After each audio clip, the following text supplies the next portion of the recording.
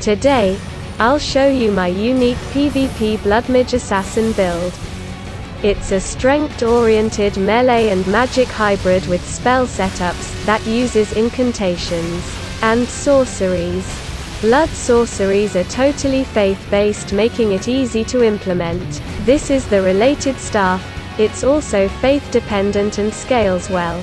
Concerning other equipment, I love using the Dragon Seal, katanas, Morning Star and Bloodhound Fang.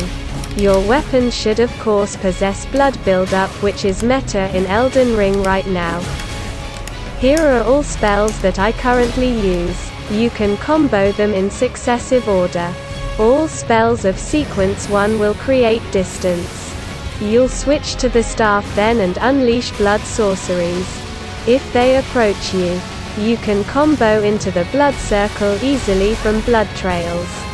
That way you can gain a good advantage in the start or end the fight safely. Remember yet that blood sorceries consume health. I counter that with bestial vitality or the blessed talisman. Yay! Bloodborne and bloodflies are good for covered offensive, approaching the enemy with a shell, shield. Bestial Sling is a no-brainer for combos and the neutral game. I use Raptor of the Mist Ashes. Bloodhound Step and Finesse for the assassin feeling. However Flame Strike works best to catch opponents if they run away. Best talismans are here in my opinion. Bloodlord Exaltation, Shard of Alex, Great Jar Arsenal and Carian Crest. These are my stats. Guter Kampf.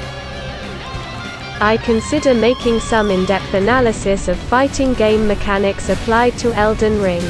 Are you interested in that format? Tell me in the comments. Thanks for watching.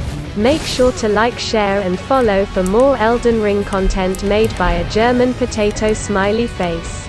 Congratulations, you're a bloodbender.